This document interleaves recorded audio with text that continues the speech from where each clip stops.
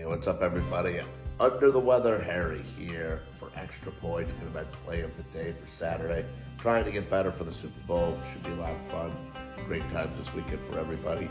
But listen, let's get a winner for you to cash a little bit before the Super Bowl. But take Oklahoma plus four minus 120 against Kansas. Kansas, very overrated team this year.